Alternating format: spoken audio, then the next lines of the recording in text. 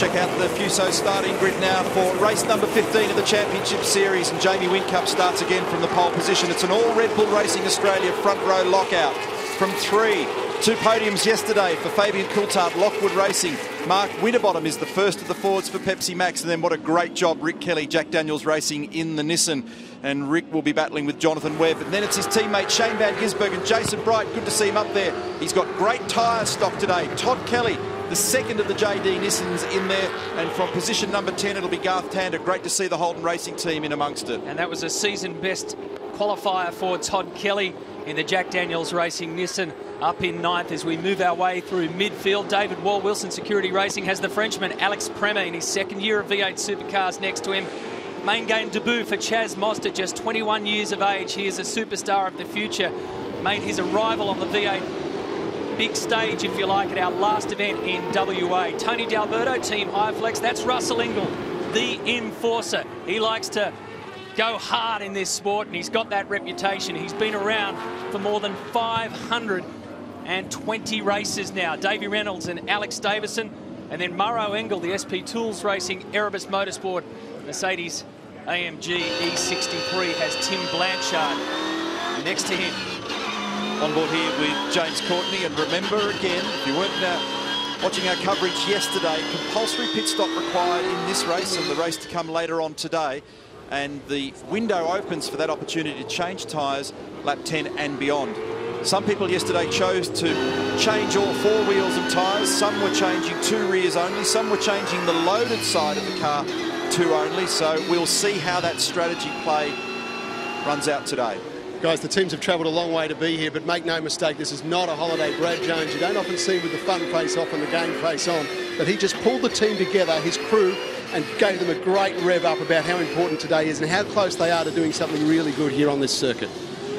Yeah, it's a great point, Barrett's, because this is a very important race Fabian Coulthard. He qualified pole position yesterday, he made a bad start and he put himself too far back and you've got to get off the line in these cars. They're very high power, small tyres. They're hard to get away. And if he gets a good start, he can put some pressure on. His pace in the race was very good. He's just got to get up and attack these Red Bull cars. That's Mark Dutton with his back to us, just calling Jamie Whincup into the precise location that he needs if he doesn't want to give a millimetre away at the start of this race. It's an instant climb when they get off the line. 24 and a half metres of elevation up to turn one, and then it drops away roughly 20 metres as well. The cars are taking their position. It's Damien White, the general manager of Motorsport for V8 Supercars. He will have control of the start. Medical car slots in behind us the view from Mark Winterbottom, Pepsi Max flag. crew, FPR Ford, but it's Red Bull at the front. And the big question today will be, can they stop this relentless charge of Jamie Whincup, who gets away well. Winterbottom tries to shoot through the middle. And Winterbottom is putting pressure on Whincup straight away. Winterbottom got the best start of the front group for sure. Lowndes out in the oil. He got caught. Lowndes has lost two spots. Fabian Coulthard will go into third spot from there. That really hurt Lowndes.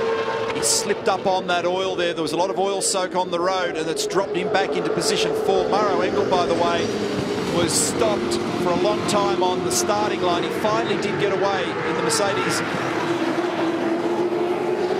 What a great shot as they snake down to turn 11. And it's on. Winterbottom's trying to get down the inside of Whincup. We saw the contact and the drama between these two guys in New Zealand. And we see this often. Mark Winterbottom knows that he, if you're going to get past Jamie Whincup, you have to do it early. But right now he's got more pressing matters in the name of Fabian Coulthard. Good job, Mark Winterbottom. He hung onto it, then it was sliding wildly, but Coulthard's got the incentive up the inside. They swap paint momentarily. Let's see what happens when they run side by side here. And Fabian had to yield through the fast But Winterbottom, three corners back, had a lot of oversteer in the mid-corner and he stayed with it. Remember, the tyres are cold, the brakes are cold. Everybody's finding their feet, understanding the balance, and now, as temps and pressures build, Lowndes is coming back. And this always happens. The guys battle that hard that it makes Whincup's job easy. Whincup has now got five or six car lengths gap to this battle for second position. So first time around, the order. Jamie Whincup, Mark Winterbottom, Fabian Coulthard, one, two, three. Craig Lowndes started second in fourth.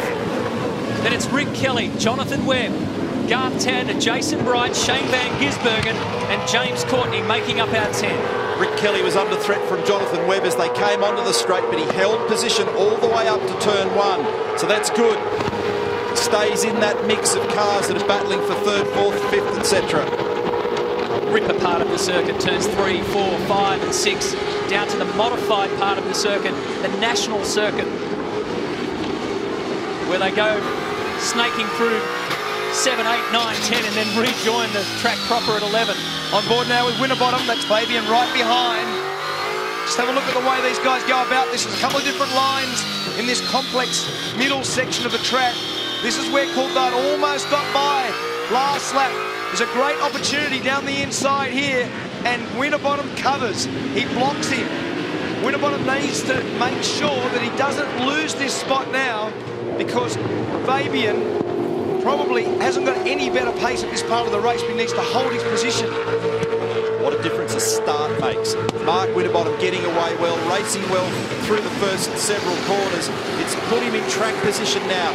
And many of the guys will tell you that their race pace isn't too bad in the front half of the field relative to those at the very front, but very often they lose out for track position. So now Winterbottom's got it. He's 0.8 of a second behind Whincup, and he's got to try and close down that margin that everybody gave to Whincup in the opening lap.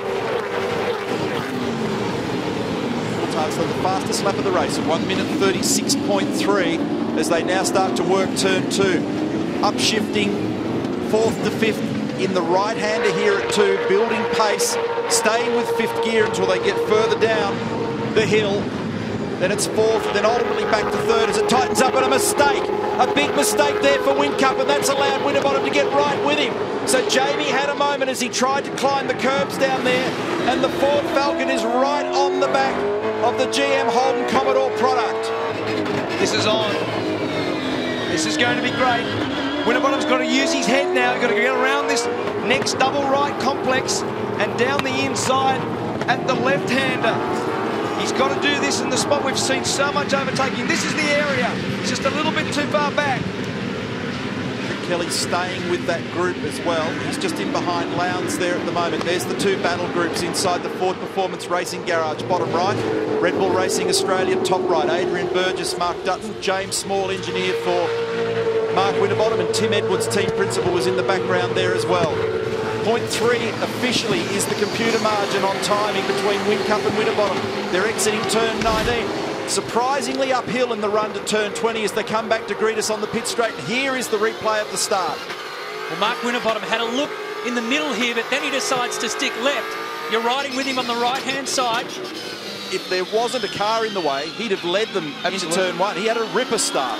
And bad luck for Craig Lowndes at the top of the crest there with that oil slick and the concrete dust over it and flicked the rear of the car out. This is the little mistake that you spoke oh, about. It was the second bobble. So the car caught the curb on the exit and it flicked him wide. It bounced him off the race line and he immediately lost that two or three car length cushion that he had from Mark Winterbottom. And Winterbottom looks aggressive today. He's got the car working better for sure and he's feeding this at Jamie Whincup as they come off the national circuit. Back to the Grand Prix circuit. A mistake here for Whincup.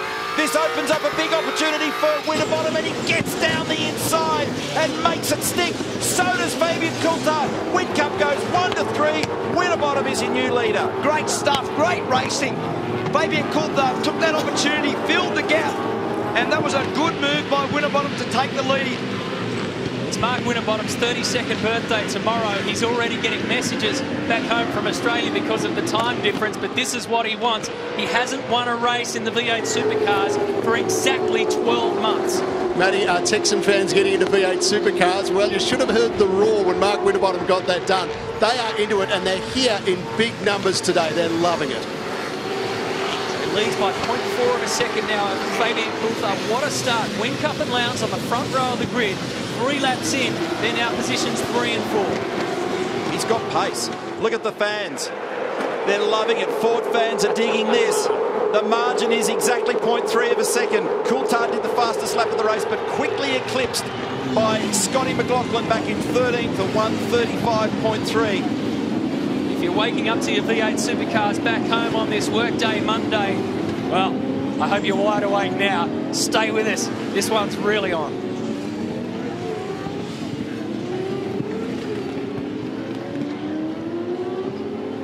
And cars 7, Todd Kelly, and 34, Alex Premat, the Frenchman, are under investigation for an incident turn 14, lap 2. I don't think it's going to be the last investigation today. So here we go with Craig Lowndes. We're looking at him from the rear bumper of Jamie Whincup. and Lowndes awkwardly down the inside. He didn't quite get the car up far enough. Jamie gave him space. But for some reason, Whincup's just having a little struggle here at the moment. He's just lost a little bit of rhythm and momentum, and he's now well exposed to his teammate. He's had a couple of awkward bounces off the curbs, Whincup. Obviously, uh, not quick enough, mate, to hold teammate up. So that was Mark Dutton. The message is if Craig's got the pace, let him be. Let him go. And he's just done that. So he's immediately responded. Good, mature decision. Now he's got Rick Kelly on. If you said to Rick Kelly at the beginning of the year, when the Nissan Altima was launched in Melbourne at Flemington, the home of the Melbourne Cup, that he would be racing a Red Bull Racing Australia Holden Commodore by the time we got to the fifth event of the season, he would have laughed at you. Absolutely. It's been an incredible development path and a lot of pressure now on for Winterbottom with Coulthard coming at him. That was really high quality racing with those two guys when they were able to put that manoeuvre on Jamie Whincup. Whincup clearly hasn't got the pace that he had yesterday, but this is very, very good speed for Mark Winterbottom as he leads race 15 of our championship.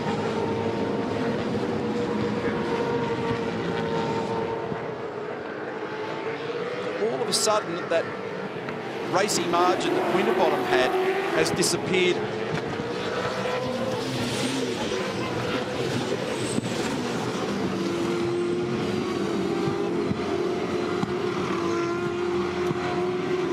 Scorching Sunday afternoon here in Austin, Texas, as we welcome you back to race 15 of the championship. Five laps in now, six laps in. And there has been another change in the ad break because Jamie Whincup has been rounded up and passed by his teammate Craig Lowndes. The orders were from Mark Dutton, who's Jamie's engineer, said to him, don't hold up our teammate. If he's got better pace, let him through, and that's exactly what's happened. So the pace has fallen away from our pole sitter. Winterbottom leads by 0.3 of a second over Fabian Coulthard, and Lowndes is now trying to pull them back in. And Winterbottom had tremendous pace a couple of laps ago, but all of a sudden, some of that's evaporated, and Coulthard is very, very close here to being able to mount a challenge for the lead of the race. Because talking in the break, that it's an extraordinary performance for Jack Daniels Racing and Nissan. If you'd said to Rick Kelly at the launch of that Nissan team at Flemington, the home of the Melbourne Cup at the beginning of the season, that he would be racing Jamie Whincup, the reigning champion. And here's that replay for the pass between the teammates. He would have said, no way. And the fifth event of the year, they're in amongst it, and that's great for the category. Well, not only that, Neil, have a look, three manufacturers in the top five. Now, when you see Jamie Whincup uncharacteristically losing a bit of pace at this stage of the race, thought I'd ask Roland Dane, uh, you got some feedback for us, mate, on his drama? Uh, probably something to do with the fact he said he had a long pedal going to the grid, which didn't feel 100%. So I don't think it's terrible, but it's just enough that it's so competitive that it just probably takes the edge off. He made a little error in 3, 4, 5 on the second or third lap, and uh, he's probably being conservative. And for those at home, what that means, Roland saying a long pedal, when he puts his foot on the pedal, it doesn't, it's not there. The pressure's not there where he needs it. It's down further. And when you're looking for hundredths of an inch, hundredths of a, a, a second, I'm sorry, uh, very, very critical. The pedal needs to be where it needs to be.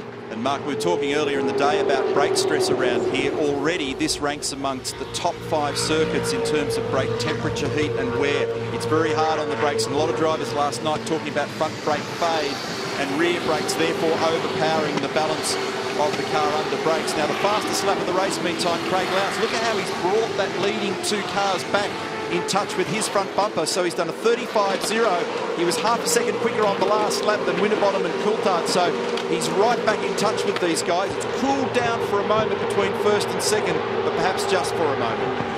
That last lap was the quickest lap again. So he's gone back to back. A little bit of a dice here for Jonathan Webb, who sneaks on the inside of Rick Kelly.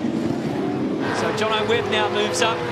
Rick was just struggling to try and hold on to Jamie Whincup, and hence the top three were starting to pull away a bit. Incoming. It's a good job by Jonathan Webb then because Rick saw him coming. off. Scott Pye's gone round at the top of the hill. That's between turns one and two. He was looking for an adventure-free weekend after all the troubles in Tasmania and Western Australia. So this is David Wall. Contact, oh, that was awkward. That could have resulted in a roll for the Wilson security car. That's a big hit. Probably some reasonable damage to both of those cars. And probably, if you look at the blame of that one, it's probably a 50-50 one. David was up there far enough. Scott was very wide, so visibility was hard on that style of corner. And contact inevitable when you get in that far at turn one. One Ford has stood on the top step at the podium this far this season. That was Will Davison. Can Mark Winterbottom join him again today?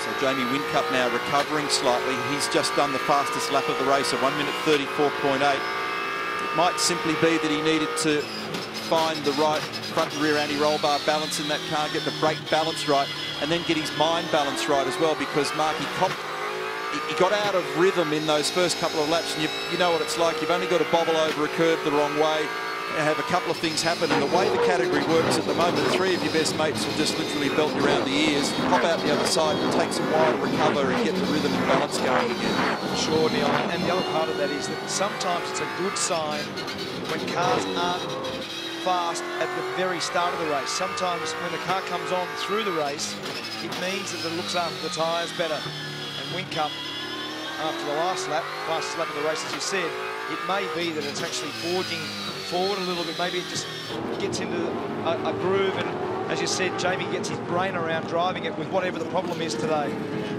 cars 3 and 34 Tony D'Alberto and Alex Premat under investigation for an incident at turn 15 and that incident we saw previously at the top of the hill that was uh, David Wall and Scott Pye that's going to be looked at post-race Jason Bright he's up to eighth position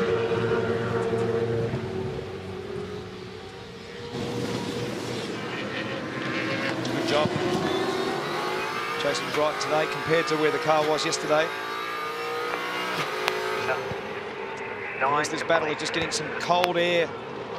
Still not too cold. I was about to say that's a relative term Can wink up. So he's back again, isn't he? So he's done something there.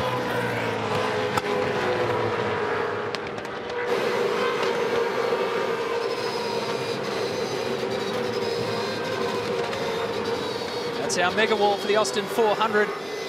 Bit of activity in pit lane. Remember, this is a compulsory pit stop race. They must come in at some stage. Race control yet to be activated. Mark Winterbottom, 0.35 of a second lead over Fabian Coulthard. Pace has come back to Jamie Whincup, who's collected the fastest lap of the race now, 134.8. So he's now back in the top four picture.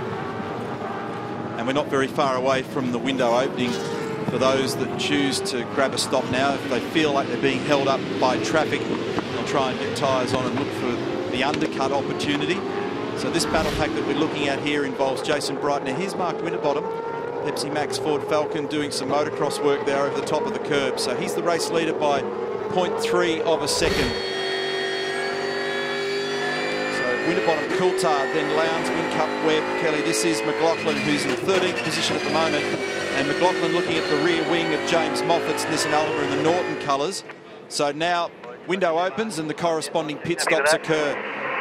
So Clear run in in, Mark. Clear run in. Winterbottom, Whincup, Tander. Three of the contenders. You can see that there's also McLaughlin and Caruso, David Wall in as well. That's us, mate. Watch for whether they do rears or loaded side or all four.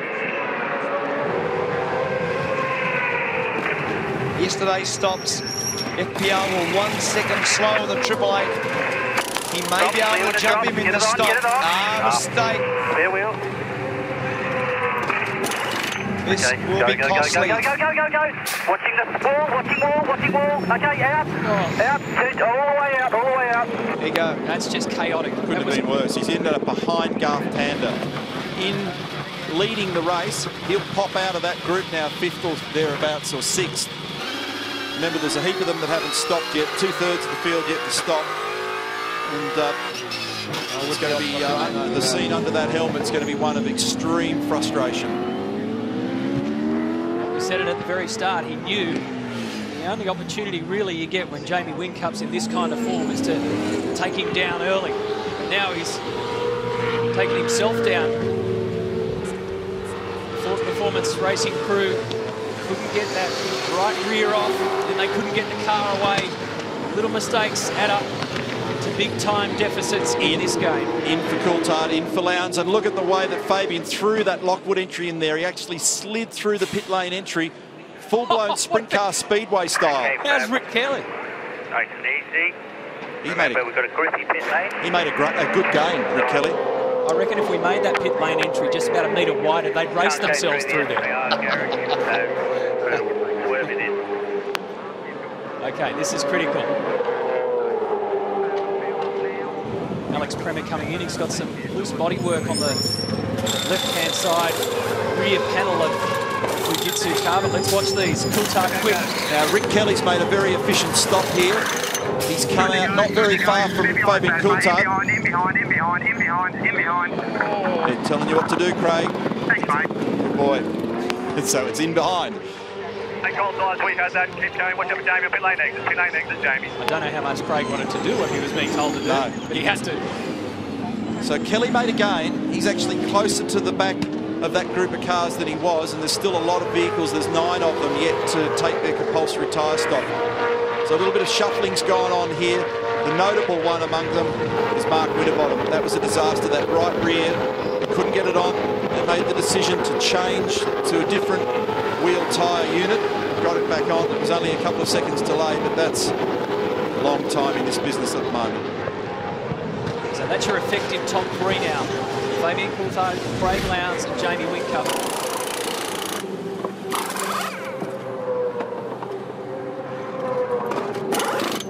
had their dramas in this area. Had problems in Adelaide, and then Mark had another problem having to clear David Wall, who was on the approach at Brad Jones Racing. Wall, meantime's done the fastest lap of the race. Correction, he's done the fastest time to the first sector on this lap of the race. Jason Bright's the leader. Now, Bright's notorious for running long when he doesn't have track position, so don't expect to see Jason rushing in in a hurry.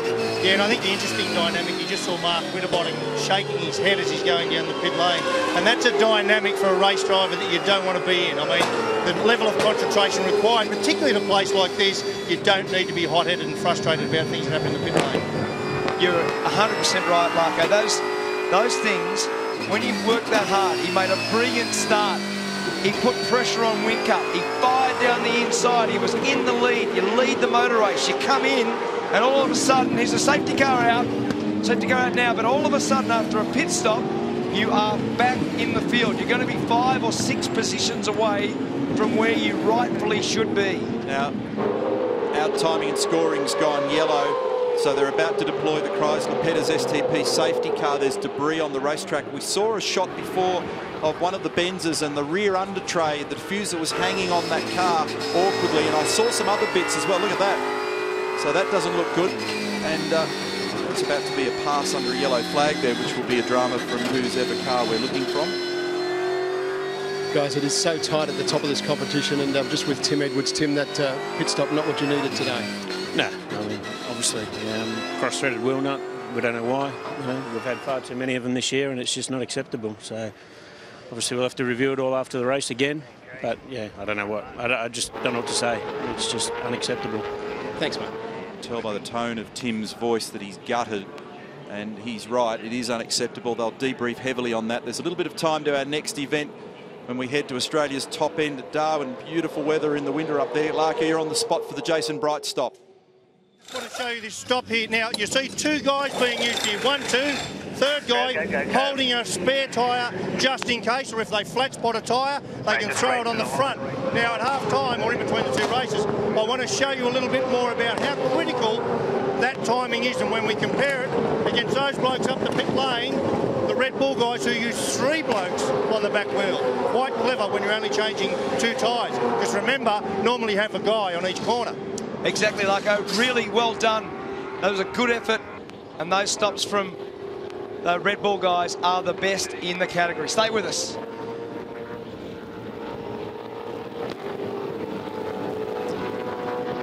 So the Chrysler has control of the field now. The Pettis STP safety car.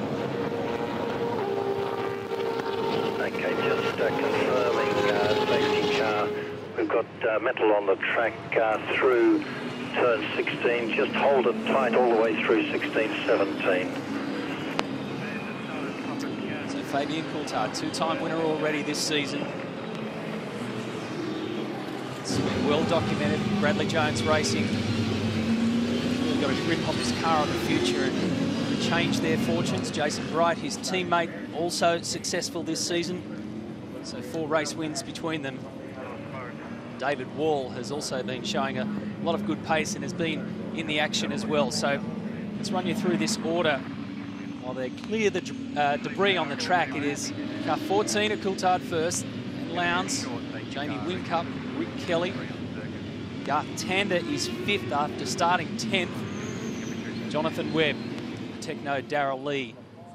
Commodore, Mark Winterbottom had the race lead, now seventh. Jason Bright is eighth, Scott McLaughlin is ninth, and Will Davison is in 10th.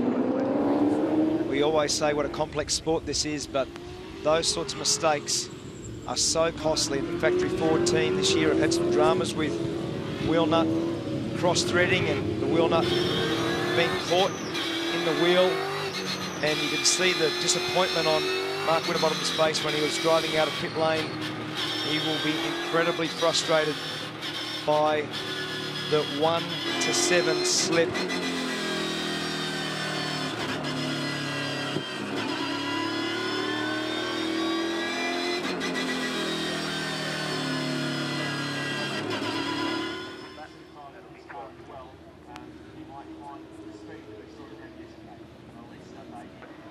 What a great sight. You are high above turn one, looking down along the main straightaway there. The totem pole on the right-hand side, a feature of American circuits. There's a couple of them around here. That's the hill up there at turn one. One of the favourite spots for the fans. They get to see the fall away as they go down towards down turn two and towards three, four, five, and six, where the cars left, right, left, right at maximum pace. So that's a little bit of the under tray at the rear of the car. It hangs down beneath the rear bumper and it's uh, right in the middle of the track, so it hasn't been removed at this stage. That's the reason for the safety car intervention.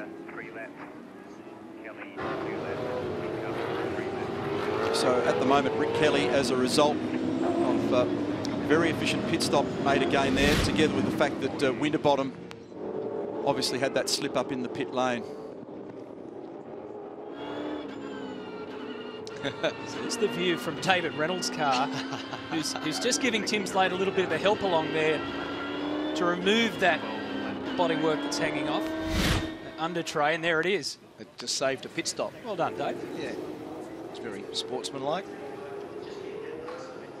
Well, just with Brad Jones at the moment, of course, the big question, Brad, is can Fabian hold out Lowndesy? Well, I hope he can. I, he, he certainly did an excellent job yesterday with the gears behind him and held him out. And I think if you can do that, you've probably got as good a chance as any holding uh, Lowndesy out today. So fingers crossed. Good stuff. We look forward to seeing this. Me too. So the safety car now is reducing speed back to 80 kilometres an hour, 50 miles per hour, bringing the field under control. No more weaving to warm tyres, no more accelerating and braking to try and keep brake temperature. The cars form a single file. For the moment, they're under the control of the safety car, and then the safety car peels in, and Fabian Coulthard has the call until the safety car is in the lane.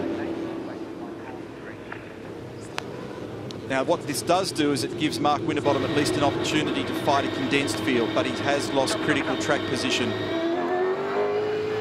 So they're starting to get itchy now as the safety car makes its way towards the pit lane entry. There he is. Car's gone in. Call comes on the race management channel from our race director, Tim Schenken. Fabian Coulthard has the call. He's a cool customer and he's showing a very cool head this year and that was excellent from Fabian Coulthard. He's shooting away from Craig Lowndes up to turn one so he will have no pressure at all on this restart lap but there is pressure for Rick Kelly and Garth Tander side by side almost making contact. It leaves Tander hung out wide but he'll crisscross because the Nissan couldn't turn it in quick enough. The problem for Rick with the, the lacking straight line speed is he had to drive right up the inside in the gutter, which makes the corner radius so awkward for him. He just understeered wide on cold tyres. He just couldn't get the car to turn, and he's lost a couple of spots. And it was a bad restart. I mean, Rick's restart then, he was four or five car lengths from the car in front. So the great restart was Coulthard. The Red Bull restarts weren't that great, but Rick Kelly's was really bad it's graphic, isn't it, looking at those cars leap over that curb. So nice jump for Coulthard, just earned himself a little breather for the first half of this lap. It means that he can focus forward and not be quite so concerned about what's going on in his periphery. He'll be catching glimpses of that Red Bull Holden in the background at the moment. So Jonathan Webb good jump here to fourth position. In fact, he's got a margin over Garth Tander now. Scott McLaughlin was held out wide then. That was awkward for him.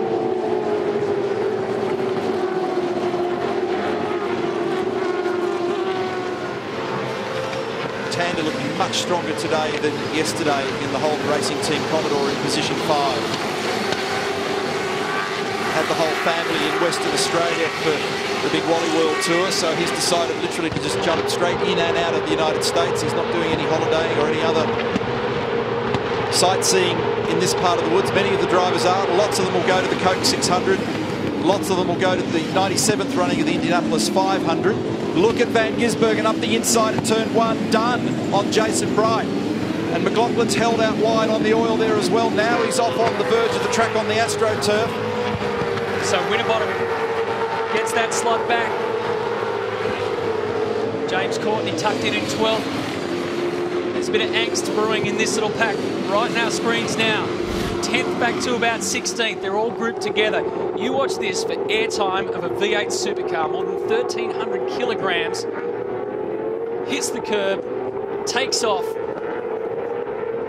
and then huge impact and load on landing. What amazes me about the shot is that wherever you focus, whether it's at the front of the car, the tyre, the rear suspension, whatever, everywhere you see extreme stress. And it's hard to imagine how engineers can calculate all the right sort of loads and how to build things in the appropriate way to deal with that. So well wide, and that's costly therefore. Rick Kelly. Got escorted? He got escorted. So Winterbottom was down the inside. He may not have been able to get it turned properly anyway, but Winterbottom Kelly then battling now. Van Gisbergen at turn 19, putting pressure on. Rick has to cover. Second last corner, he's moved it across. This is going to be bad. Down the inside. Good move. So Rick's caught up now in these guys. And that mistake from the restart has cost him. Still way to go.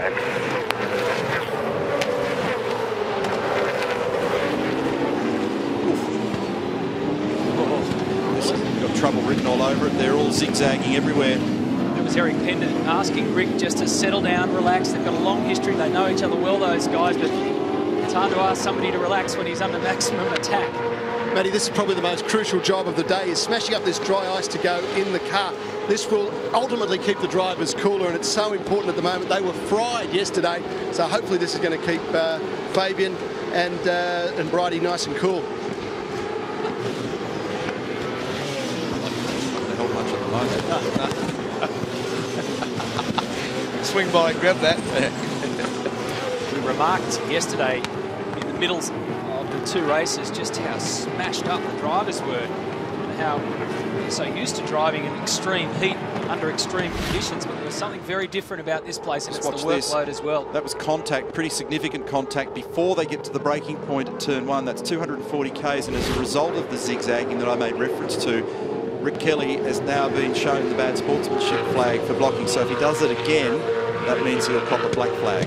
Yeah, and you remember, boys, in yesterday's race, uh, Rick Kelly actually ran out of fuel. Now, remember, everyone's got, you know, they fill their cars up. We know it's a 100 kilometre race. Why did he run out of fuel? I assume they've got a little bit of extra fuel dialed into that engine to give it the little bit of power that they're looking for. So to make the end of the race, I'm suspecting they've probably taken a little fuel out of it, and he seems to be coming under a lot more fire in a straight line, and that's a hard day out. Yeah, I, I agree. Like uh, the only problem with this one is that he put himself back too far, and and the restart wasn't good enough, and then he's under fire from too many of those guys. So he did it to himself. He's back in eighth now. The car's probably fast enough to be fourth or fifth. He was in front of Jonathan Webb, and Webb put a nice move on him. That was a good bit of racing, but he probably deserves to be up further. Focus your attention to the box on the right here, just how much work there is for the driver on this racetrack. Just constant wheel work. Oh, it's a little moment there also for Will Davison. You've only got to catch the curb the wrong way and you buy yourself a bucket of trouble. and more trouble. This time he got him. Scott has a look to the right. And also in the mix there is James Courtney, so you can't get involved in too much of that at the moment. This is just, look at the bottleneck of cars involved in this. It's Courtney, McLaughlin, Davison, Caruso, Mostert, Moffat, Todd Kelly, David Reynolds. I mean, it's a roll call. Sorry about that. You think there's a bit of sensory overload for Scotty McLaughlin at the moment? You having a go, Sensory mate? overload Keep for that us. rhythm, mate. You're doing a great job. Did you hear that? Richard Holway. He said, sorry about that. He said, well, that's what you're out there for, mate. That's exactly right. He's a great young talent. He's out there to race. Get on with it. Fantastic. Now, oh, this is big. Big news here. Fabian Coulthard under investigation for failing to maintain speed at the start of the race. Now, he leads at the moment. He's just done the fastest lap of the race. He's got 0.8 of a second margin. Fabian Coulthard and his group at Brad Jones Racing for this Lockwood entry are going to have to argue their case at the end because he may have jumped early. There's always something going on. In fact, it's just underneath the area where we're working in the Circuit of the Americas administrative area, Circuit of the Americas building administration, and I've seen a never-ending stream. stream of team managers rolling their eyes as we go down to talk to competitors. Not too many leave with a smile.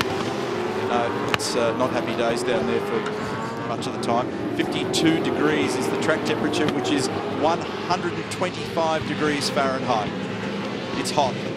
This is what the drivers talked about last night. Hot, humid, high work rate. The constant wheel work was, like I said at the top of the show, everybody got a real wake-up call about the job they had to do yesterday in race 13 all the smiles and the high-fiving and isn't it great to visit America soon gave way to, whew, this is hard work. Exactly. We said in a 95 second lap, 135, 10 seconds of that lap is in a straight line. So 87% of the lap, you're turning the car. So you're working hard, it's hot conditions, and the battles are on. The thing that makes it intense is this sort of stuff. As Dave Reynolds fires down the inside of Alex Davison. And what this intensity does, it keeps the heart rate up. And that's wild. We've seen some of the best racing so far. That's Tim Slade right in behind them. They've been battling. David and Alex are battling for 17th and 18th at the moment. They're behind Rick Kelly. They're effectively teammates. Those cars built by the same organisation at Ford Performance Racing. They're in the same garage. Last night I spoke to both of the drivers and they said both cars are doing exactly the same thing, which in their opinion was the wrong thing. They couldn't get connected to the track. They had two very different balance conditions in different sections of the racetrack that made the cars awkward to drive it doesn't look like they've been able to get totally on top of those problems. Mark Winterbottom has certainly made a gain today. He looked cer certainly quicker than he did yesterday. But uh, giving that time away in the pit stop is an absolute disaster for him. So, Jamie Whincup on board with him at the moment. How much goes on here. Just trying to make sure that you keep that car guided to the precise location around this racetrack. And that's a great view of the never-ending right-hander that we've been talking about. 16 through to 17 through to 18. Now back onto 19. You mentioned that it's another sneaky incline. It is. It's a 10-metre rise from the bottom of 19 to the top of turn 20 before they hit the straight. To bring those front and rear bars down if need be. So that call there from Mark Dutton is just to put some more compliance in the car, allow it to just roll around a little more, front and rear, be a little easier on the tyre, not slide the car as much. It's actually been nice recovery here for Whincup, who at one stage looked like he was falling faster than the Australian dollar. Or falling asleep in the team. Venture Roland will go and wake him up now. That'll be, hey, well done. well, well, it is only morning back home. I mean, he's jumping out of bed. Isn't it interesting? Uh, look, those top three cars, they have dominated the podium all weekend. Today it's a different order, but there's a question mark hanging over Fabian Coulthard, remember. And Lowndes, Craig Lowndes in position two is reeling him in slowly but surely. Just in this phase of the race.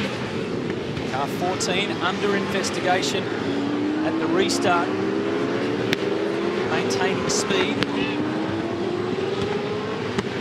So six laps to go. On lap 22 out of 27. So time-wise, gap's 0.8 of a second. But as you say, Crompo Lowndes is chipping away. So Fabian had his uh, first win in a V8 supercar race three down in Tasmania. That was a great moment for him and for Brad Jones Racing.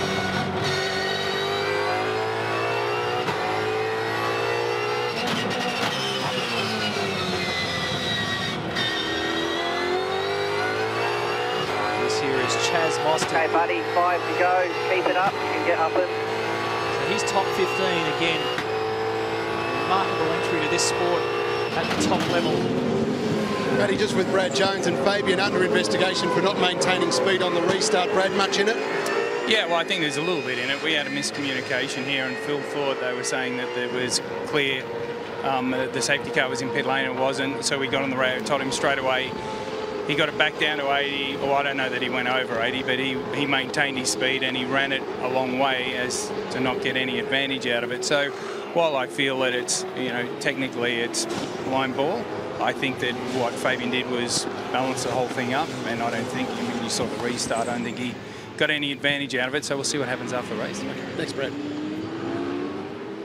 Quietly confident, would you Yeah, I, think there was a communication issue there. Brad is accepting that there was some drama attached to it, but it, what he's actually saying is that the benefit and any advantage was negated by Fabian coming back. So overall, if you go back into the stewards and you say, listen, what's the intention of the rule? Did I get an advantage? No. Did I breach the rule? Probably yes. So it'll be interesting to see what they say.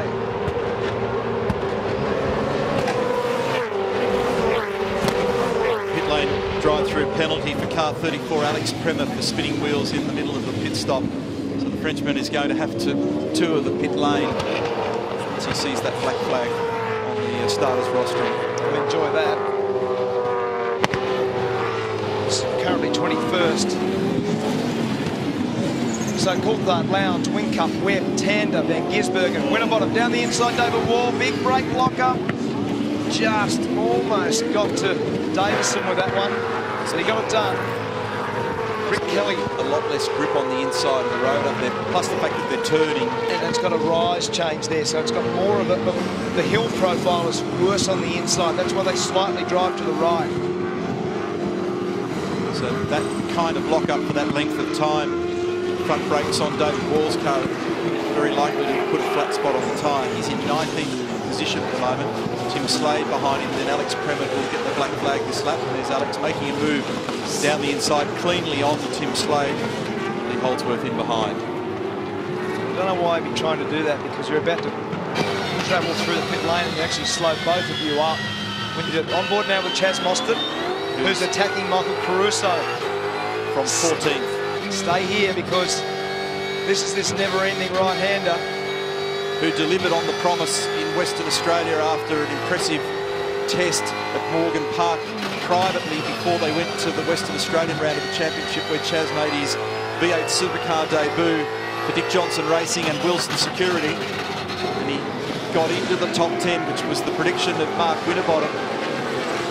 He's done a terrific Have job. go, mate. Three laps to go. Just keep working on him. And he's caught totally in a Nissan sandwich. You've got Caruso in front, Moffat and Kelly behind. I think Jason Bright just got Rick Kelly at the top of the hill as he went out of frame there. Or did he? No. It's ongoing. It's actually yet to be resolved. It's back the other way again now. So Rick's grabbed the spot. So these two have been just seesawing the last half a lap. Oh, wow. it is motocross land. That's Van Gisbergen having a dive at Tander, and he gets it done. So that puts Van Gisbergen up to fifth. He's got this real back-end speed in these races. We saw him in the mix in the final laps yesterday. Back-end speed then when he got hit by Tander. Back-end damage. that was Morse code for don't forget I'm here. yeah, don't make a mistake. Might have been a return of serve. Maybe. Think like that, don't you? That's your mentality, isn't it? That, that was your modus operandi, wasn't it? Taught me everything I know, Mark. One second is the margin. Coulthard to Lowndes. At the moment, he's got him covered. But question mark hangs. They'll have to argue this one with the judiciary afterwards. Stop chuckling. So Coulthard, Lowndes, then Whincup, Webb, Van Gisbergen, Tander. There's the margin. Winterbottom, Rick Kelly, Jason Bright, James Courtney. So two of the Holden Racing Team cars in the 10. I'll be pleased about that because yesterday didn't look like a happy day at the office at all. In between these two races, make sure you stay with us. We've got a lot to show you. I'm going to take you up to the observation tower, show you the sights from up there. We're going to check in at Texas Memorial Stadium, University of Texas, where the Longhorns play. We'll send some drivers out and about, find the best burger in town too. Legendary speed commentator Bob Varsha will join us as well. He's here this weekend, hosting it up for speed, and he's going to give us his thoughts on our category, on our racing, and this event. Will Davison's been quiet in this race, guys. He's still in 12th at the moment inside the bunker at uh, Brad Jones Racing, and that is Chad Reed, famous Australian motocross rider. James Courtney's going to be spending some time with him the uh, little rest period he has in the States. He's also going to spend, that is James Courtney, time with his friend Dario Franchitti up at the Indy 500 and uh, Belle Isle in Detroit. And the IndyCar moves on to the next round there. A few of the boys are off on different tours. Jamie Whincup's doing Vegas. He's also going out to the Grand Canyon and off to San Francisco. So they're all spreading in different directions. Some of them are off to Disneyland, Disney World. It's all going on. But Darwin is our next event. I tried to make the point a little earlier. We love going up there in the Australian winter. It's a great escape. Whoa, that was a great escape. That's not an escape. It's not over yet. No, no, he missed it. He missed it. And there's traffic approaching too. He almost ended up in that barrier on the entry to pit lane. Oh, that was out of control. So Mostert's made contact. Caruso right out sideways and trying to get into the pits. There's more biffing and barging still on. This is like Dodgem car stuff. He's like a battering ram. Well, Todd Kelly's car yesterday got beaten from pillar to post, and the back end of the car was quite a mess at the end of the day. It's not looking as bad today as it did yesterday, but it was beaten. It's a great section of road, isn't it? Look at the body language of the cars. They move around, they slide, they run up on the curb. Great car control. Our cars look very, very good through there. They're very dynamic. For big, heavy cars, they've got high grip level. So 1,400 odd kilos car and driver. That equates to just a little under 3,100 pounds. It's a lot of mass to control. I love that sequence of corners through 16, 17, 18 because the drivers have really got the cars dancing on the grip edge through there. Well, twice he has finished third to the Red Bull Commodores already this weekend, but with a yeehaw, Fabian Coulthard stands above them now. Great pace. There, mate. Lowndes second and Whincup third. The confusion there, mate, but awesome, awesome pace. Very good work. Great job. Win number three this season for Fabian. Big weekend for him in Tasmania. Got the first win there, then he backed it up. And, uh, Craig Lowndes comes up to congratulate Phil Keane and all of the mechanics at Brad Jones Racing. Pretty happy with that one. Jason Bright also in the top 10. Uh, David Wall, third car in that stable in position 19. But it's all about Fabian Coulthard for the moment. And the follow-up story will be just what happens with the, this safety car question mark. But uh, that's great to see.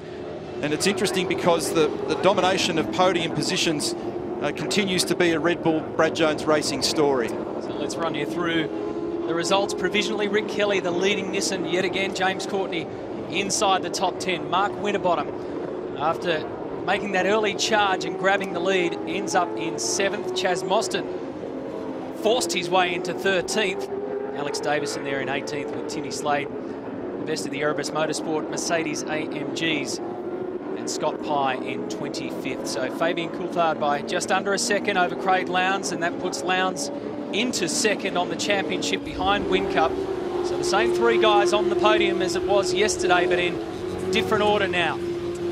Brad Jones Racing and the Lockwood Commodore. Salute the checkered flag for race 15 of the championship. We started the first race here on pole. Went into the history books for being the first Australian V8 supercar driver to grab pole position at this circuit. What a terrific weekend for all three of these guys. The Tekno Autosport pair of Webb and Van Gisbergen inside the top five together.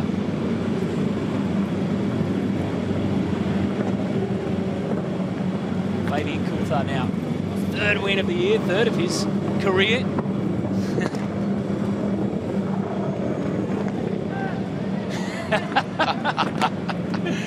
he's hooping it up.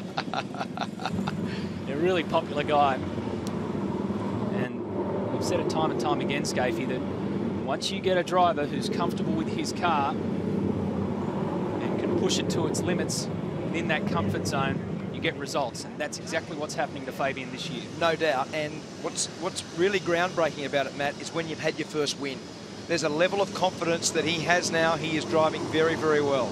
Uh, level of confidence, Capey. He re looks really comfortable at the moment. Fabian, congratulations, third win of the year. You are really in a groove this year. Yeah, look, it was uh, a pretty good race. You know, we hustled pretty hard there at the start, and uh, the boys did a fantastic pit shop to get us to jump Frosty uh, in the stop. So awesome battle. You know, Craig kept me honest the whole race, but you know, we had enough gap and we're able to manage it, and you know, awesome for the boys. So Lockwood, awesome sponsors, guys at BJR. What can I ask for?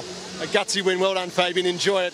Of course, Craig Lowndes. Lowndes, he probably wasn't the start that you wanted out there today, but boy, you kept the pressure on Fabian. Yeah, look at Brett's. It was a great race. We had a really good car. The start wasn't uh, that well. I got a lot of wheel spin, had to clutch it, and it died, and we got going. So, uh, but Fabian did a great job. Obviously, uh, um, you know, they got a bit of speed in that race, but uh, look, you know, them's the brakes. I'm being consistent. I hope I can get second in the last race, but I just got to wish Chile a happy birthday for yesterday. I forgot to do it. Time zone. Understandable, Lounsey. Good luck for the next race. Cheers, thanks. And of course, Jamie Whincup. Jamie, boy, consistent weekend. You've been on the podium all the way through. Today just just didn't seem to have the speed that you needed. Uh, yeah, not quite. We um, obviously we need to keep keep making move forward. We um, we didn't move forward anywhere near as quick as the other guys. So um, full credit to them. They did a great job. We'll um, we'll make a tune up for the next one. Bring on race 16. Yeah, race 16 podium. Happy with that. Cheers. Going to grab a quick chat with. I know you're frustrated, mate. That was a great start. Great couple of first laps. Attacking hard and uh, pit stop. We saw you shaking head, mate. You're obviously disappointed. It's happened a few times, mate. But um, yeah, it's frustrating. You know, I think we got the car better then, and the go-on tyre that went on was my race one tyre, so we put the wrong tyre on anyway in the end as well. So a couple of um, couple of errors in that stop, but. Uh, I'm frustrated. So what, you know, we'll work on it. We'll let you have your team debrief now. Pete, if you just come with me, I'll just show you a little bit about how this works. This is Mark's car here. So if you look rear wheel, this nut's now undone. You can see there's a safety, little safety thing there. Now, if we turn around and look at the the gun, you see the little dick in the middle of the, the, gun there, that little spike. So when they engage that on there, that pushes that in, which will release the nut. Now, when they go to put the new wheel on, here's a wheel here. Now, remembering these are a control wheel and a control nut. So it's not like FPR have done something different here. This isn't a different wheel or anything. That component over there, the hub that it screws to, is also controlling specification, but I'm not sure about material. So it's possible, I don't know, maybe they've got a different material there that is expanding and contracting at different rates. But when you look inside here, you can see this nut via these little spikes here is captured in the wheel, so it sits in there. But what's happening with them continually is that first thread, which I can circle and point to right there. That first thread is not engaging properly on the first thread on the hub. And if that doesn't engage straight away, because this is an aluminium, it strips and burrs and gets all horrible, and it just won't go on right. So you've got to pull it off and whack another wheel on. And as you always say, Larko, in this sport, in this pit lane, those little things like that add up to disaster in terms of results. So here's the championship point score. Whincup still leads. It's 122 the difference, but the difference is that Craig Lowndes has now moved up into second, and the spread from first to 10th points-wise is 446 back to Jonathan Webb. Up to the podium we go with Mark Barreto.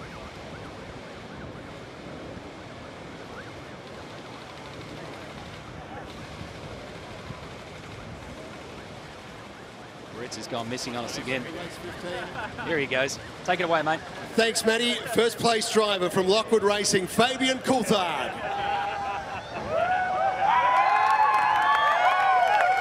In second place from Red Bull Racing Australia, Craig Lowndes. Our third place driver from Red Bull Racing Australia, Jamie Whincup. And representing Lockwood Racing, our winning team is Paul Eddy. Making the presentation of our third place trophy is Nyle Maxwell, owner of the Nyle Maxwell family of dealerships. Presenting to second place is Mark McKenzie, Circuit of the Americas Guest of Honour. Making the presentation to our winning team is Aaron Childress, Austin Area Manager for Chrysler. And presenting the winning trophy is John Paul DeJoria, Circuit of the Americas Guest of Honour. Ladies and gentlemen, the 2013 V8 Supercars Austin 400 Race 15 winners. So three out of four races, and all of those three guys up there have three trophies each. Fabian Coulthard has finally got the one that he wanted, the winner's trophy, but still another 100 Ks to go.